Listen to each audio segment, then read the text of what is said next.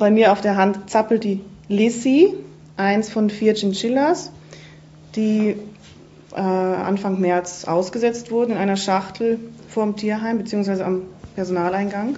Zu einer Zeit, wo die anscheinend die Aussetzer wussten, dass niemand da ist.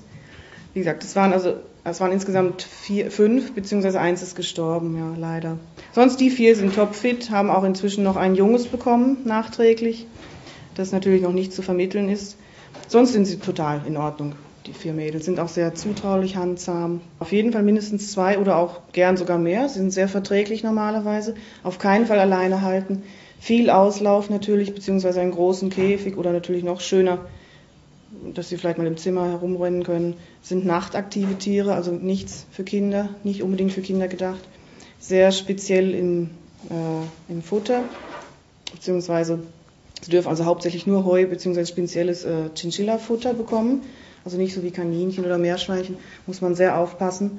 Sind also sehr spezielle Tiere, ganz, ganz tolle Tiere, sehr äh, toll zu beobachten. Sie brauchen auch ihr, unter anderem ihr Sandbad jeden Tag, wo sie sich wälzen, putzen können und so weiter.